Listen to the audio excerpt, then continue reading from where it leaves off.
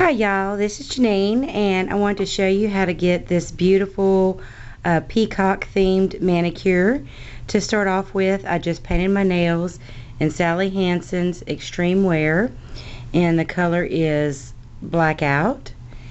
And the next color I'm going to work with is an elf color and it is called Punk Purple but it really is more of a, a pretty muted mauve color and I just cut a makeup sponge into some small pieces because I'm going to use those to do uh, my stippling on. And this is going to create the background uh, for our stamping. So in the usual manner I'm just going to take the color and paint it onto the sponge. And this is a really easy manicure because you don't have to be precise with this. This is just creating a little added dimension of color. And you can't really see it on the uh, nail now but when you put the top coat on the colors that you stip that you stipple in uh, really uh, pop after that. So I'm just going to go through and do all of my nails in this manner with the pink and then I'll be back. Okay the next color I'm going to work with is this beautiful emeraldy green by Sinful Colors and it's called San Francisco. And we're going to do the same thing and just take a makeup sponge. And this time I'm just going to try and get it a little bit like on the corner because I don't want to cover the entire nail with it. I just want to kind of dab it in spots because I don't want to completely cover up the pink and I'm just going to continue to do that on all of my nails.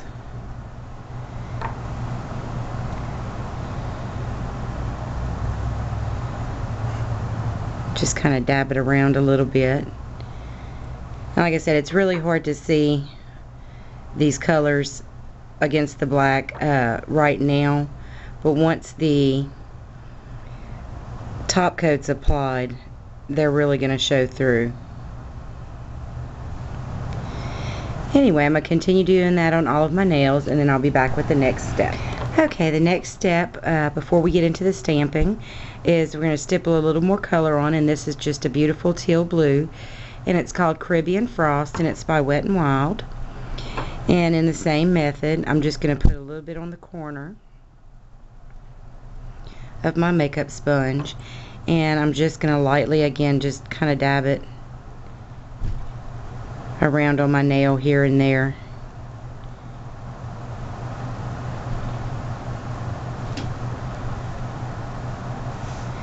And I'm going to continue with the rest of my nails and come back with the stamping. Okay, now for the stamping. You can see I've got all of my nails uh, stippled and like I said, it's I know you can't really see it now, but once the top coat's on, you're just going to see this nice muted blend of colors. They're going to look a little bit marbled, and they're just going to create a nice background uh, for our stamping. And I'm using Bundle Monster Plate 15, and this is from their first series. And I'm going to use this uh, Peacock is going to be the first uh, stamp I'm working with. And I'm going to put it on my index finger on both hands. And those are going to be my accent nails and I'm working with, uh, I'm stamping with Revlon Top Speed Nail Polish in the color Golden. And I just thought this would look really beautiful uh, against those uh, stamped colors or those stippled colors. Because I'm going to an event this weekend and, and that's what I created this design for was to match my outfit which has a lot of these colors in it as well as some gold.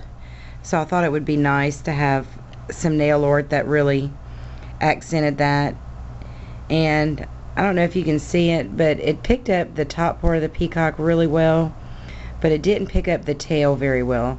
So when this happens I generally just take some nail polish remover and just clean the plate and the stamper and everything and give it another go Sometimes certain polishes you work with are not going to work as well with your stamps, particularly ones that have these finer designs, little tiny bitty spaces.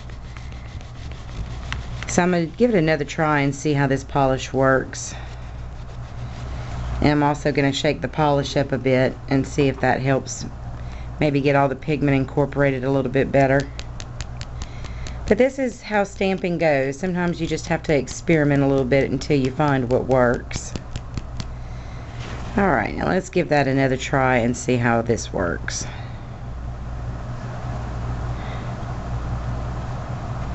And sometimes if you don't scrape as hard, if you just use a really light scrape, sometimes that helps.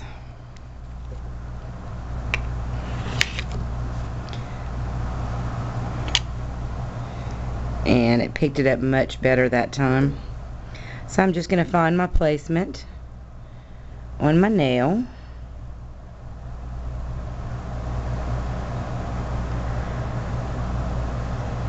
And now we've got that beautiful peacock on there.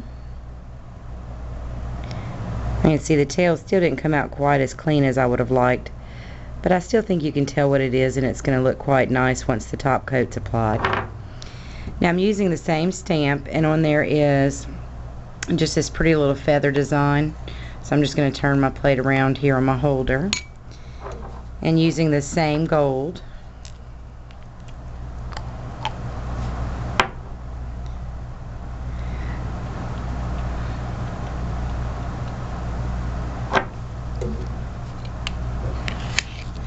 I'm going to use the smaller end of my stamper and I'm just going to randomly place feathers on my nails and I'm probably going to try and get two to two and a half feathers depending on the size of the nail I'm stamping on.